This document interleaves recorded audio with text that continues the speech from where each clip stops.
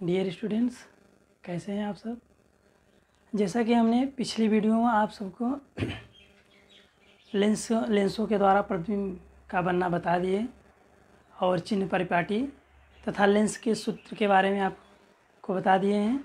आज की वीडियो में हम आप लोगों को रेखी आवर्धन के बारे में बताते हैं। चलिए क्या होता है देखते हैं।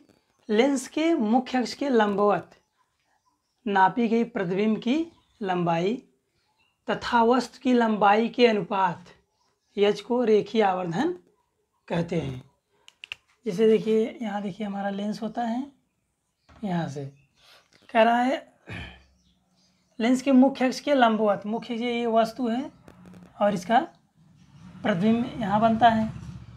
तो नापी गई यहाँ से, यहाँ तक की जो दूरी है, वो जो लंबाई है, जो नापी गई है, अनुपात यज को रेखीय आवर्धन कहते हैं। इसे यम से प्रदर्शित करते हैं। रेखीय आवर्धन यम बराबर होता है।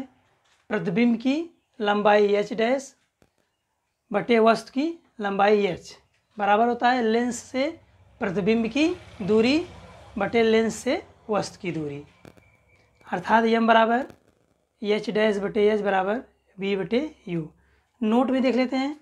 सीधे तथा आभासी प्रतिबिंबों के लिए आवर्धन क्षमता, धनात्मक तथा उल्टे वास्तविक प्रतिबिंबों के लिए आवर्धन क्षमता ऋणात्मक होता है।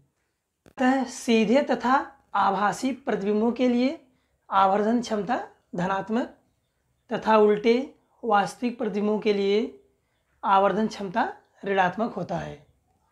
यहाँ देखिए नोट में हम देखते हैं, आवर्धन क्षमता, यदि आवर्धन क्षमता यम का मान क्या हो जाए? एक के बराबर हो जाए। जब आवर् रेखीय आवर्धन का मान क्या हो? एक हो, एक के बराबर हो तो प्रतिबिंब का आकार वस्तु के आकार के बराबर बनेगा। जो हम प्रतिबिंब रखे रखे रहेंगे, उसका जो वस्तु हम रखेंगे, उसका प्रतिबिंब उसी वस्तु के बराबर बनेगा। M is greater than one मतलब यम की वैल्यू क्या हो? एक से अधिक हो। अगर हमें रेखीय आवर्धन का मान एक से अधिक, एक एक एक से बड़ा प्राप्त हो जाए तो प्रतिबिंब का आकार वस्तु के आकार से बड़ा होगा।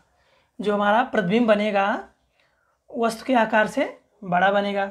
और जब रेखीय आवर्धन यम का मान एक से छोटा हो जाए, उसकी वैल्यू एक से कम हो तो प्रतिबिंब का आकार वस्तु के आकार से छोटा बनेगा।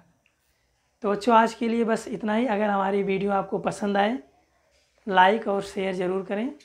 धन्यवाद।